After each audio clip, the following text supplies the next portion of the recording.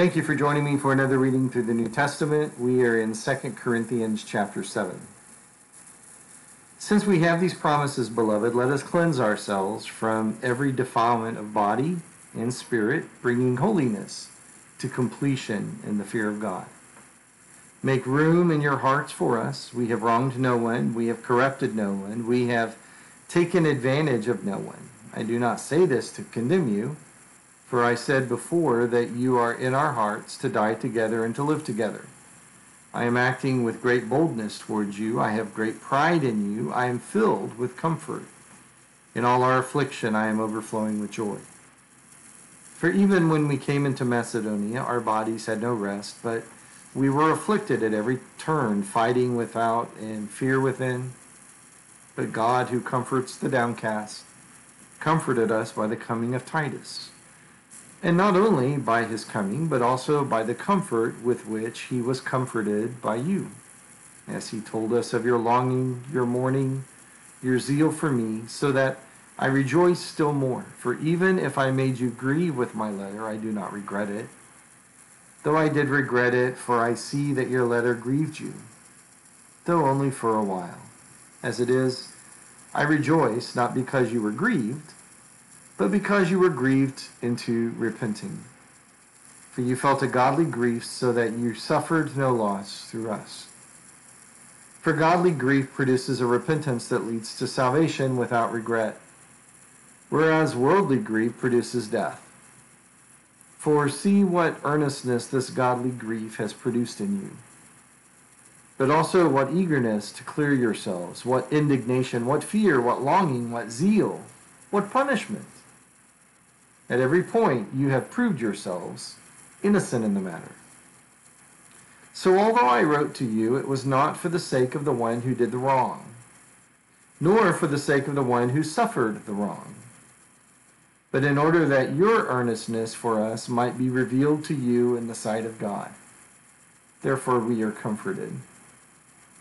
And besides our own comfort, we rejoiced still more at the joy of Titus, who because his spirit has been refreshed by all of you.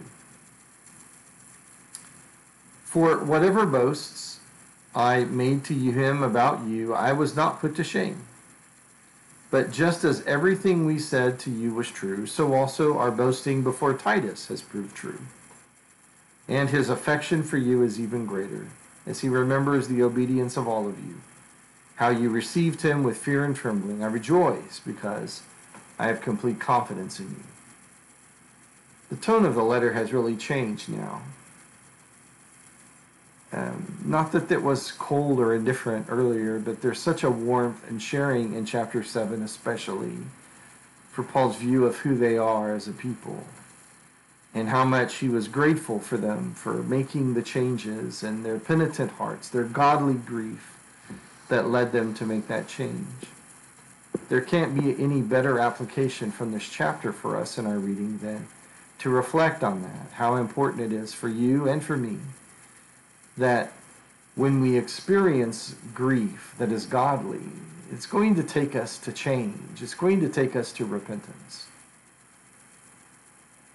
But if we bear a grief that we will call worldly in its contrast, which here he describes it as, um, well, yeah, worldly grief. That's what I thought. Verse 10, sorry. It produces death. Now, that certainly can mean physical death, and, and that's the natural, but I think the contrast here is not so much about living and dying in the sense that you have breath inside your nostrils but the person who will not let his grief take him back to God will experience an ongoing dying. He will live in disharmony with the way God made him. He will live in disharmony with his fellow man. He will live in disharmony with nature. Whether it is he or whether it is a she, it will just be walking death. And so, when you experience grief over the things you've done wrong, Make it godly. That is, pursue God and find in your heart the desire to be penitent, confess your sin, and he will be faithful and just to forgive you. Join me again for another reading through the New Testament, making your weekday strong.